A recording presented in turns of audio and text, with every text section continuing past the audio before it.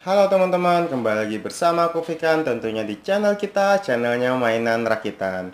Oke teman-teman, pertama-tama aku mohon maaf kepada teman-teman ya yang harusnya aku upload di hari Minggu, ternyata aku uploadnya di hari Rabu dikarenakan pada hari Minggu kemarin kita bertepatan dengan Hari Raya Idul Fitri 1441 Hijriah.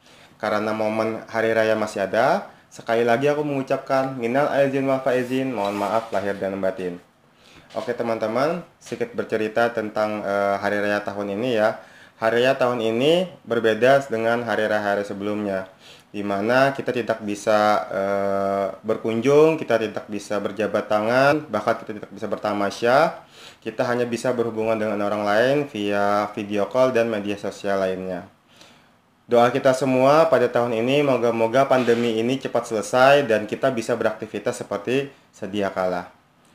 Oke, dikarenakan ini masih momen spesial, masih hari spesial, bulan yang spesial, walaupun masih pandemi, tentunya aku bakal eh, bikin mainan rakitan yang spesial juga, yaitu kita bikin Neo VKS Mini 4WD, keluaran produk Tamiya Neo VKS. Terus, apa sih yang baru dari Neo VKS ini atau Tamiya ini? Yaitu Tamiya mengeluarkan sasis yang baru. Sasis seperti apa? Mari kita lihat aja langsung. Let's go.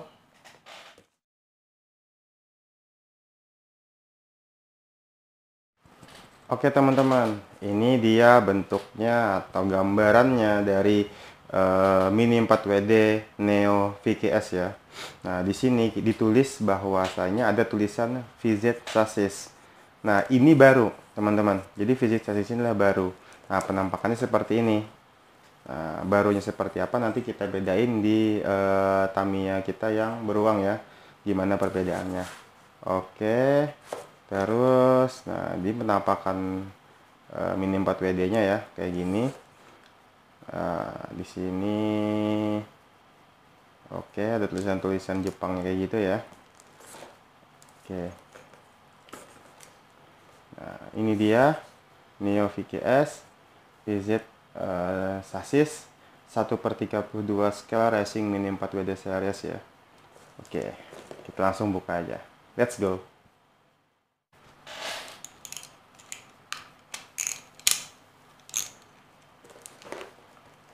Oke teman-teman kita buka ya.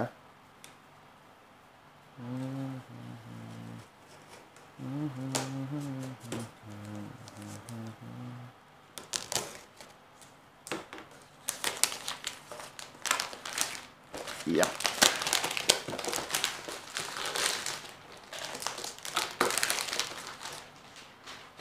Oke, ini dia.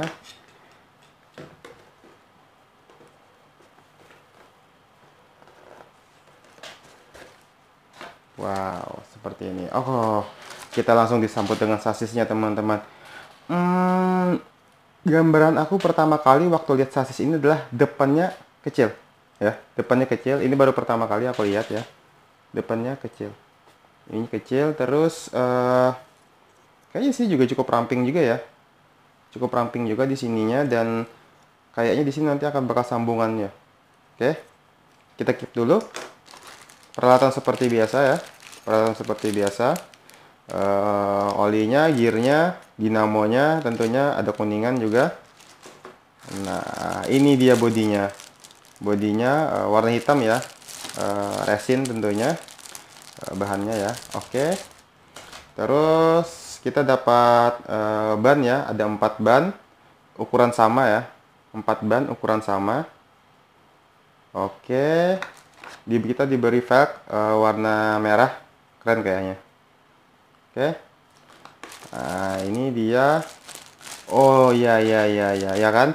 Nah kita dikasih bumper belakang sama bumper depan. Bumper belakang sama bumper depan. Tapi kalau ini dikasih bumper depan harusnya tengahnya harusnya tengahnya agak panjang dong ya harusnya ya. Hmm, oke kita kita lihat aja nanti gimana hasilnya ya. Nah, seperti ini. Oke. Nah, terus ini stikernya dia ya, stiker Tamiya-nya VKS. ya Tamiya yes. Oke seperti biasa ada manualnya. Oke lumayan panjang. Ya dari atas dulu VKS ada bahan-bahan yang perlu diperlukan ya. Obeng dan lain-lain. Terus seperti ini. Ya. Oke ini manualnya terus kita dapat apa lagi di sini oh ini himbauan ya himbauan uh, untuk uh, cara pemasangan dan lain-lain ya. Oke.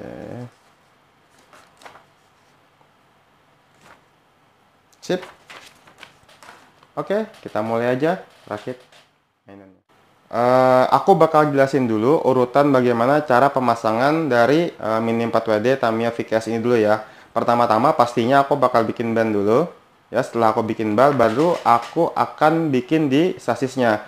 Mulai dari pemasangan bannya mulai dari uh, uh, pemasangan gear-gearnya terus aku bikin bumper belakang bumper depan dan sampai jadi sasisnya. Setelah itu baru nanti aku bakal bikin bodinya ya. Bodinya serta penempelan stiker nah untuk penempelan stiker aku yakin teman-teman pasti bisa. Jadi nanti videonya aku skip aja. Jadi bodinya akan langsung terpasang. Tenang aja teman-teman semuanya ada di manualnya kok untuk pemasangan uh, stikernya ini. So nggak usah nunggu lama langsung aja kita bikin mainannya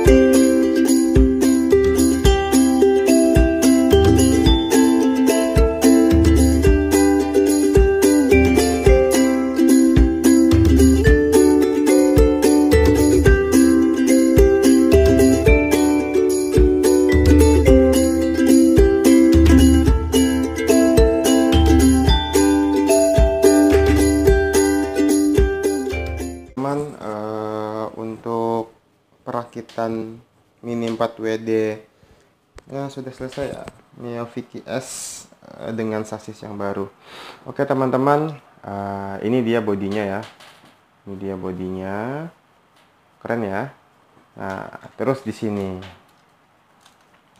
Hal positif pertama yang aku kasih tahu adalah di sini eh, kekuatan dari eh, bahannya resinnya biasanya aku dari eh, ini ya partnya yang kumpulan partnya di sini ini aku tinggal goyang-goyang dia akan patah.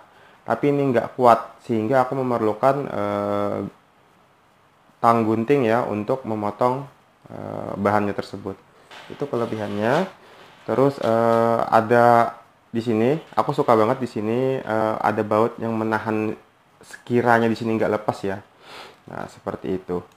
But eh, di sini ada sisi negatifnya. Di awal video perakitan aku kebingungan. Bahkan sampai 15 sampai 20 menitan aku cari ini teman-teman. Aku cari ini. Nih. kenal nggak? Familiar nggak sama ini? Ya benar sekali teman-teman. Jadi ini adalah yang biasa ada di sini. Ya. Di antara eh, bannya sini. Di antara apa ya kita bilang tuh besinya antara ban itu ya nah, ada di situ. Ini nggak ada. Jadi dia cuman ininya doang. Kita dikasih lebihan satu. Ya ininya doang nih kita dapat. Ya.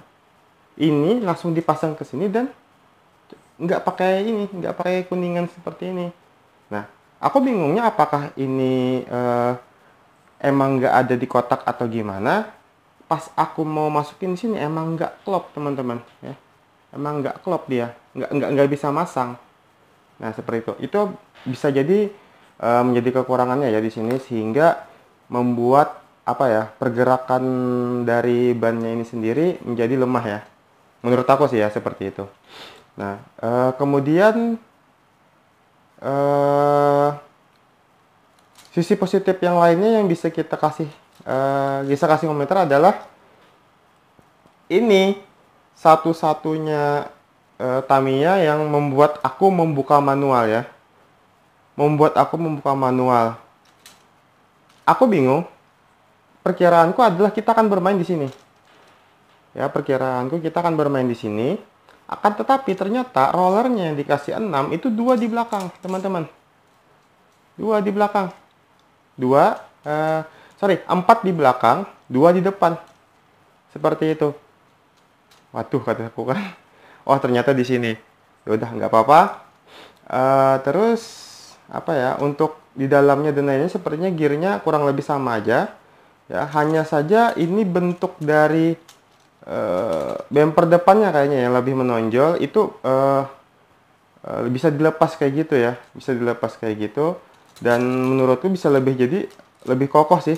Kalau kita taruh bautnya di sini di sini di sini dan di sini juga ya uh, aku cuma naruhnya di sini sesuai dengan petunjuk manualnya nah, seperti itu oke aku mau ngebandingin ini sama Tamiya uh, sebelumnya ya. Oke, pada dasarnya aja aku kasih tahu ya.